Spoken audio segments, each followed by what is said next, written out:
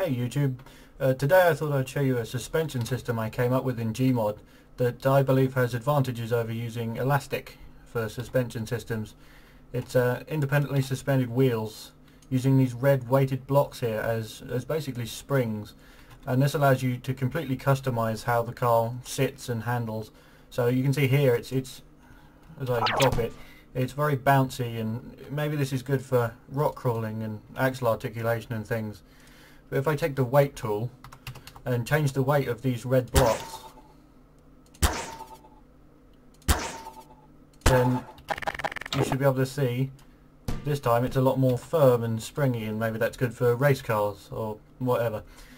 Um, you can also use wire weights for this and uh, I've used this before, it's quite good. It allows you to adjust the springiness of the wheels on the fly. Um, so today I'm going to show you how to make a suspension system like this. Uh, you're going to need a, a, base plate. I'm using this uh, 2 meter square wire one from the um, Phoenix pack. Uh, this is a bar for steering, but whatever steering system you use should work. Uh, you're going to need four 1 meter by a quarter of a meter Phoenix blocks and some wheels and I've chosen these Jeep ones out of the excellent S-Props pack. Um, okay, so I'm using the precision tool which is available in the workshop and I'm going to whack these blocks onto the edges of my base prop.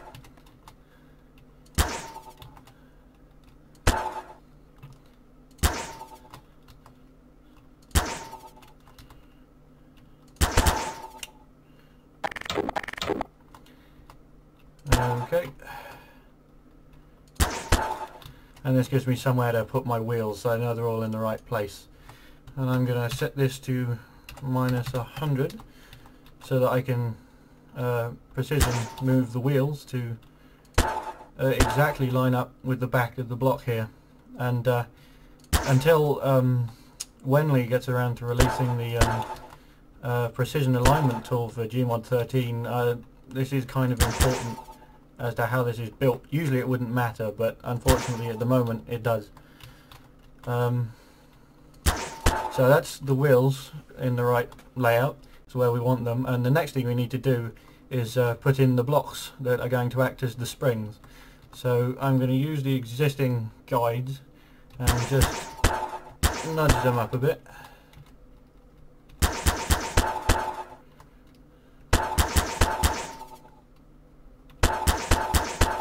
Cool. And we're going to spawn some blocks. I'm use bigger ones for this one. But you can use whatever you want, it doesn't matter.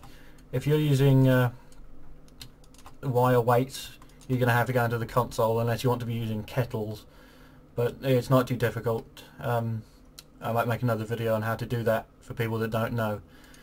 So, for these ones, we're going to move from the middle here to the inside of this block so that the center of the block sits above the inside of the wheel um, because that's where the the ropes that comprise the arm of the suspension are going to go. And uh, it'll make a mistake. I've moved them too far down because I left it offset.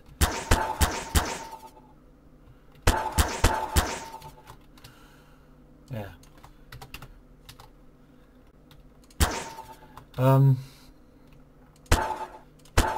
So once that's done, we can get rid of these uh, large blocks because we don't need those anymore. And that's basically all you need in terms of the suspension for unsteered wheels. Um, so what we're going to do now is weld the four spring blocks to the chassis and then we're going to use Ball Socket Center, which is an excellent tool uh, to attach the wheels to the springs and make sure simple ball socket is ticked and uh, rotation constraint is off. Um, and then just select each wheel in turn and then its spring.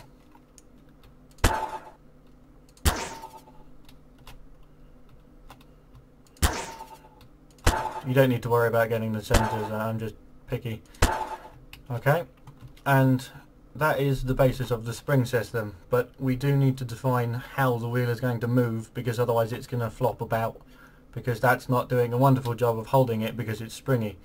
So I'm going to use rope for simplicity. Uh, third one over.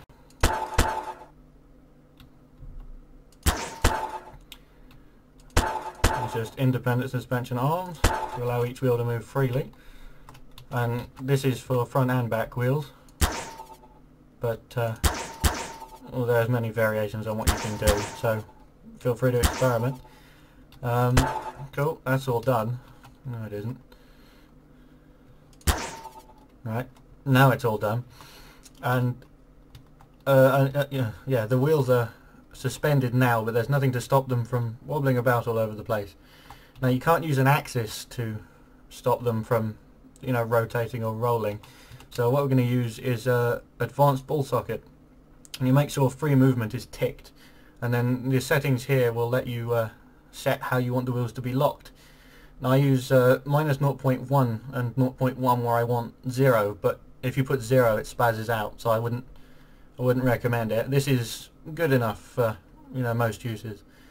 Um, this is set to steering wheel at the moment so minus 0.1 and 0.1 and this I'm using the x-axis as the uh, the rotation axis here. The x-axis goes this way.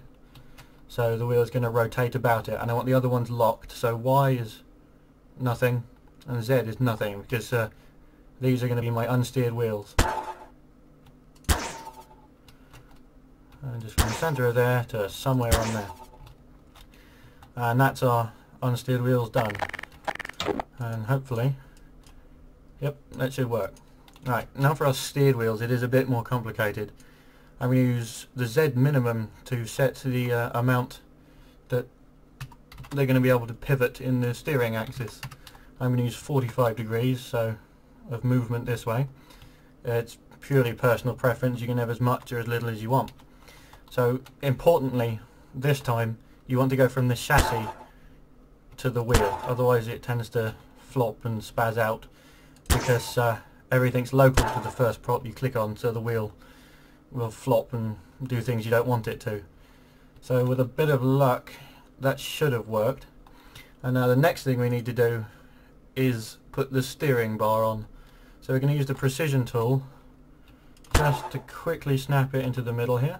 And we're going to use a axis center tool to do that so that it can spin on the body.